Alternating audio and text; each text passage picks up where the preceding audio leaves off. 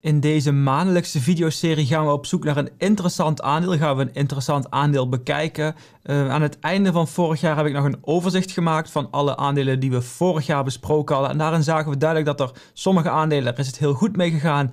Andere aandelen is het juist wat minder goed mee gegaan flink naar beneden gegaan. Ook dat is mogelijk. Dus het is puur om te kijken, is het mogelijk interessant, maar doe altijd zelf nog je onderzoek. En ik gaf in die video ook al aan dat het gewoon steeds lastiger wordt in deze markt om ook wel ooit een interessant aandeel te vinden. Uh, mogelijk zeker wanneer het, je het ondergewaardeerd zoekt, zeg maar. Maar in deze video denk je toch zeker een interessant aandeel gevonden te hebben dat misschien niet ondergewaardeerd is, maar wel gewoon eerlijk gewaardeerd is, waardoor het toch wat, ja, behoorlijk wat potentie heeft in de toekomst. Welk aandeel het is en waarom ik dat denk, gaan we bekijken in deze video. Dus laten we snel beginnen.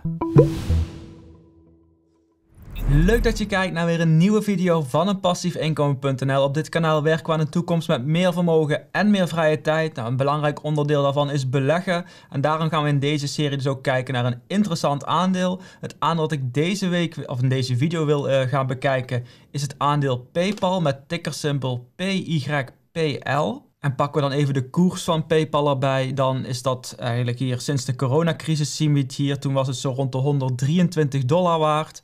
Ehm, toen is het een flink wat gezakt naar ongeveer 80 om uiteindelijk weer een piek te bereiken, zo van twee keer zelfs. Uh, begin 2021 en aan het halverwege 2021 nog een keer van rond de 300, 310 dollar. Maar we zien inmiddels wel sinds dat moment, sinds die laatste piek, pakken we hem er even bij, zo rond de 308 naar de koers op dit moment is zo'n 38% lager of zelfs op het dieptepunt zo'n 32, of 42, eh, 43% lager. Dus het gaat de laatste tijd niet per se heel goed met het aandeel. Dat zien we met meer aandelen gebeuren. Het zijn eigenlijk nog maar een paar aandelen in de index die de hele index omhoog houden, zoals Microsoft en Apple en zo. Er zijn ook heel veel bedrijven waar het nu wat minder mee gaat.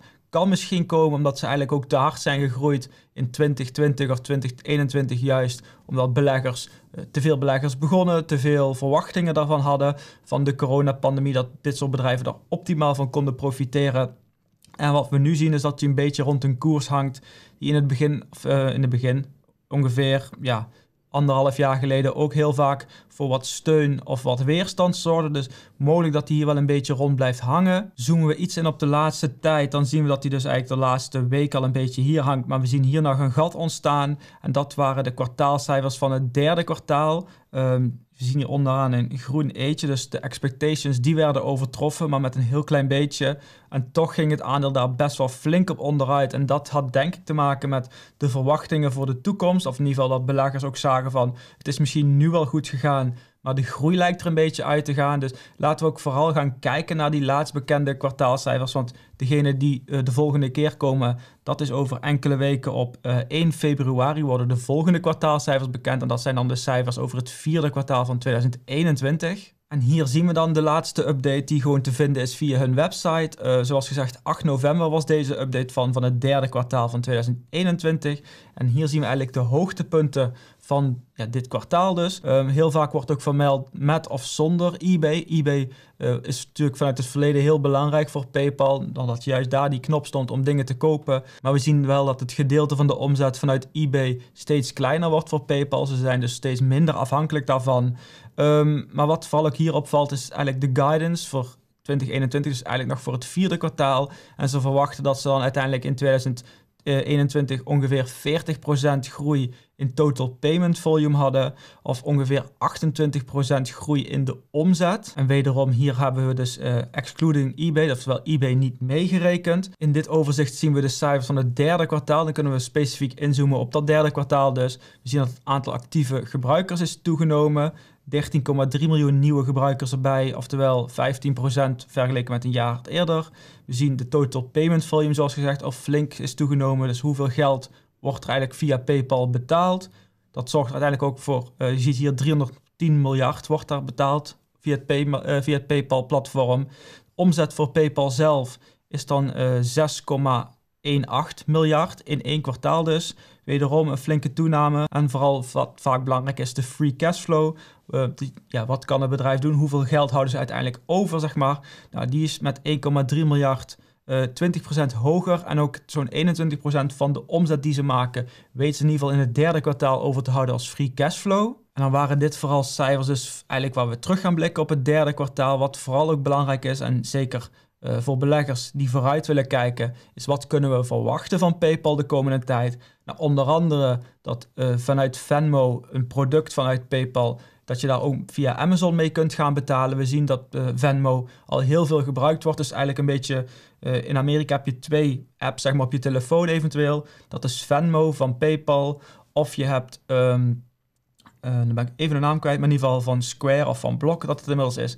Dat zijn eigenlijk de twee concurrenten in ieder geval die hierop ingaan. En met Venmo kun je bijvoorbeeld heel makkelijk geld ontvangen, heel makkelijk geld sturen, online winkelen. Dus eigenlijk is het een soort van mobiele betaalapp waar je tegenwoordig ook zelfs crypto mee kunt handelen. En vanaf ergens dit jaar wordt het dus mogelijk om via Amazon in Amerika tenminste te betalen met Venmo. Dus dat betekent dat er weer meer uh, geld omgaat in het platform van PayPal. Dat de omzet van PayPal uh, gaat toenemen en waarschijnlijk dus ook de winstgevendheid. Dus dat is op zich wel een uh, positief teken, lijkt me zo. Maar niet alleen Amazon is natuurlijk een partij die samenwerkt. PayPal zegt zelfs ook van de 1500 grote retailers in Amerika en in Europa is zo'n 75% biedt een betaalmogelijkheid van PayPal aan. Dus het is een heel ja, breed gebruikt online betaalmiddel. En dat zien we hier rechts ook grote namen zoals Walmart. Booking heeft het in het uh, derde kwartaal toegevoegd met Venmo. Uh, ziet meer bedrijven die uiteindelijk de betaalmogelijkheden van Venmo toe, uh, toevoegen. Dus dat ziet er positief uit, zeker wanneer een bedrijf dit door weet te zetten. En ik denk ook wel dat eenmaal een paar grote namen dit gaan doen dat dat ook um, ja, commitments zijn zeg maar, voor de lange toekomst. Want je wilt niet als Walmart zijn of als Amazon zijn dit even testen en dan weer terugtrekken. Want dat kost veel te veel tijd. Je gaat daar uitvoerig onderzoek naar doen van tevoren voordat je dit doet. Zodat je weet dat als het eenmaal geïmplementeerd is, dat het ook zeker iets is wat blijft bestaan. En dat heeft PayPal misschien ook wel nodig, want in dit overzicht zien we dus die TPV, die Total Payment Volume, oftewel het geld dat omgaat. En wat dan vooral opvalt en wat misschien ook wel een beetje een reden is uh, waarom de koers dus in november naar beneden ging, flink naar beneden, is dat eigenlijk uh, het volume in het tweede kwartaal en in het derde kwartaal ongeveer gelijk was. Zelfs het derde kwartaal iets lager zelfs.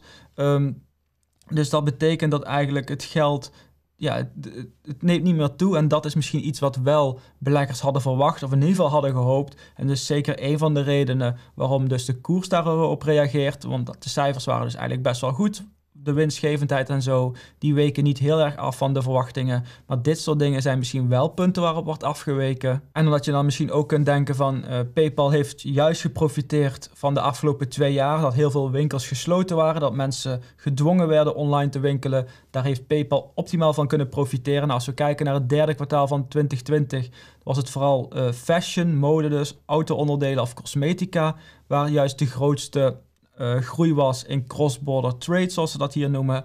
En het derde kwartaal van afgelopen jaar zien we dat juist travel en events, cosmetica en fashion. Dus cosmetica en fashion zie je in beide gevallen terugkomen. Dat is gewoon een groeimarkt.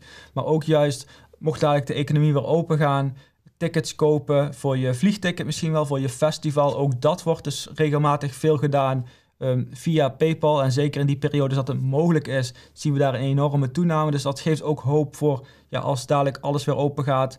Als mensen misschien weer teruggaan naar de winkel, zijn er ook andere onderdelen waarop PayPal toch hun omzet en dus winst kan halen. En dan de laatste sheet uit dit rapport wat ik wil uitleggen is eigenlijk de capital allocation, oftewel wat doet uh, PayPal met het geld. Nou, de laatste tijd hebben ze behoorlijk wat acquisities gedaan. Um, 2020, 2021 niet zoveel, 2020 bijvoorbeeld wel, 2018 dus een gedeelte van de omzettoename die komt door overnames van concurrenten. Zo bijvoorbeeld eh, in, specifiek in Japan hebben ze nog een partij overgenomen omdat ze juist daar het marktaandeel willen vergroten. Een ander gedeelte met het geld wat ze doen is hun eigen aandelen opkopen. Dat is vooral interessant voor de aandeelhouders die er al zijn, want dan wordt de winst in de toekomst verdeeld over minder aandelen, oftewel de winst per aandeel neemt toe. Altijd interessant als aandeelhouder zijnde. En je hebt ook nog capital expenditure, oftewel capex. Dus je ziet wel dat uh, PayPal blijft investeren in hun product. Al is het natuurlijk relatief een laag bedrag, maar dat is ook wel logisch. Het is vooral iets online, het is iets software. Dus als dat eenmaal staat,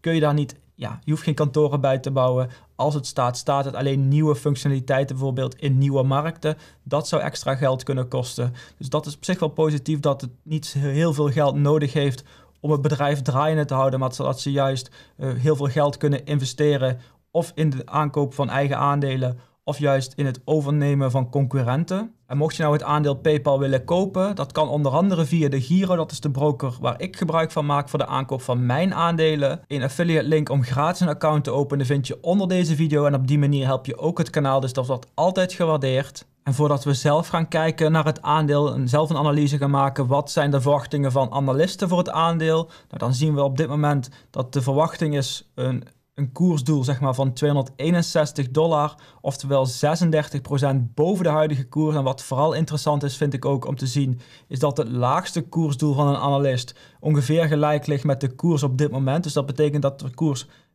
volgens analisten in ieder geval niet heel veel zal dalen in de komende 12 maanden. En dat die bijna alleen maar upside heeft in dit geval. Maar laten we dat vooral ook even zelf gaan bekijken via beleggertools.nl, de tool die ik heb gemaakt om juist ja, jou te helpen zelf dat onderzoek te doen. Als we PayPal opzoeken en naar de checklist gaan kijken, dan zien we eigenlijk op een, ja, een paar punten vrij snel uh, hoe het bedrijf scoort, zeg maar.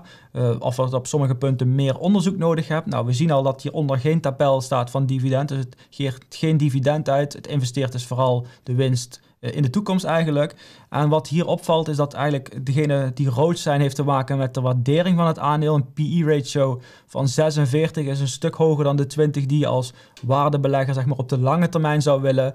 Aan de andere kant is dat heel hoog. Misschien niet als je gaat kijken naar de omzetgroei. De omzet is bijna verdubbeld in de laatste vijf jaar tijd. De winst is bijna verdrievoudigd in de laatste uh, vijf jaar. En ook de free cashflow is verdubbeld. Ze maken heel veel winst, uh, netto winst, 21% zien we hier. En ze hebben heel weinig schuld, 0,7% als schuldratio. En ga je kijken naar de free cashflow die ze hebben. We zagen dus 1,3 miljard geloof ik in het uh, derde kwartaal.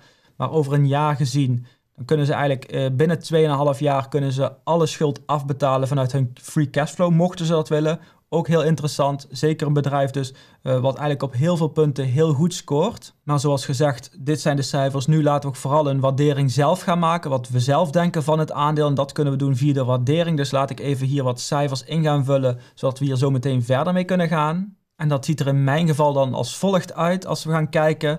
Uh, de omzetgroei. Ik heb gekeken naar wat analisten verwachten voor de komende vijf jaar. En dat is ongeveer 20%. Dus ik heb 20% ingevuld als base case, het meest waarschijnlijke scenario. Dan hebben we nog een bear case als het wat minder goed gaat dan scenario. Of bull case als het juist wat beter gaat dan uh, wat analisten verwachten.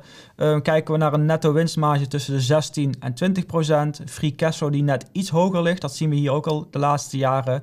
We zagen al dat ze eigen aandelen opkochten. Ik verwacht ook dat ze dat in de toekomst gaan doen. Uh, zoals je zag, ze hoeven niet heel veel te investeren in hun eigen platform. Dus er komt waarschijnlijk juist meer geld vrij in de toekomst om dat ook te doen. Dus ik ga ervan uit dat ze in het slechtste geval niets opkopen. In het beste geval 1% van de aandelen per jaar opkopen. En dan komen we aan bij een PE-ratio. Die heb ik ingesteld op 18, 21 en 24 bij die groeipercentages. Uh, het bedrijf groeit de komende jaren dus nog behoorlijk flink. Maar ik denk dat zeker daarna nog dat het um, ja, niet zo groot is dat het niet heel veel nog een keer kan groeien, zeg maar. En dan vind ik dit soort PE-ratios wel passen bij het, de groeipotentie zeg maar, van het bedrijf. En um, ja, de waardering die er eigenlijk bij hoort. Dus 18 tot 24, 10% per jaar als gewenst rendement omdat ik natuurlijk als los aandeel iets meer rendement wil dan een ETF of een breed gespreide uh, indexfonds bijvoorbeeld. En dan het eindeloze groeipercentage. Standaard heb ik dat op 3% staan. Uh, iets meer dan de inflatie. Hier heb ik het verhoogd naar 5%. Omdat, zoals gezegd, ik denk dat ze ook na die zeven jaar waar we die analyse voor doen, dat ze eigenlijk nog genoeg potentie hebben om te groeien. Dus als we dan op analyseren klikken en naar beneden scrollen, dan zien we dat op dit moment de koers zo rond de 191 dollar is. En dat we eigenlijk een beetje daarmee in het midden zitten van de base case. En dat is eigenlijk ook al een beetje wat ik aangaf in het begin van deze video. Het is steeds lastiger om uh, ondergewaardeerde aandelen te vinden. En als ze heel laag zijn in koers, heeft dat waarschijnlijk een reden omdat het niet zo goed gaat met het bedrijf. Maar wat we hieruit kunnen afleiden is het scenario waar ik het ja, vanuit ga, het meest voor de hand vind liggen, zelf tenminste, ligt ongeveer rond de koers van dit moment. Dus zou het niet eens zo'n heel verkeerde koers zijn om nu in te stappen en dan toch de komende jaren minstens 10% rendement te kunnen maken. En zo zien we dan eigenlijk dat het aandeel uh, PayPal de laatste maanden flink onderuit is gegaan, zo'n 40% op de beurs, op de koers zeg maar. Dat we nu op een punt zitten op de grafiek is dit van steun en weerstand Maar als we het gaan waarderen en de verwachting van analisten een beetje in, in acht nemen, dan komen we ook ongeveer op deze koers uit. Dus misschien is het ook wel volgens heel veel beleggers een interessante koers om het aandeel nu te kopen. Want we zagen het bedrijf de laatste jaren eh, in omzet of in winst verdubbelen of zelfs eh, verdrievoudigen in winst. Ehm, dus de afgelopen tijd ging het goed, maar er is nog genoeg potentie en genoeg verwachting ook in de toekomst dat het juist goed gaat met dit bedrijf. Onder andere misschien wel omdat steeds meer bedrijven zoals Amazon hun uh, gaan implementeren. Of misschien wel omdat Venmo steeds populairder wordt. Maar dat zijn dus voor mij redenen waarom ik het aandeel interessant vind. Ik heb het nog niet in mijn portefeuille zitten, maar mogelijk ga ik dit wel doen. Ik ga nog wel meer onderzoek hiernaar doen en zeker ook even de koers nog in de gaten houden. Maar laat ik vooral weten wat jij denkt van het aandeel PayPal. En zeker vergeleken met concurrenten zoals Square misschien. En doe dat via de reacties onder deze video. Zijn we daarmee aan het einde gekomen van deze video. Vond je het een leuke, interessante video? Geef dan zeker even een duimpje omhoog. Wil je meer video's zien waarbij je nog niet geabonneerd op het kanaal? Dan op abonneren onder deze video om nooit meer een video te missen. Wil ik jou bedanken voor het kijken en hoop ik jou bij de volgende video weer te zien.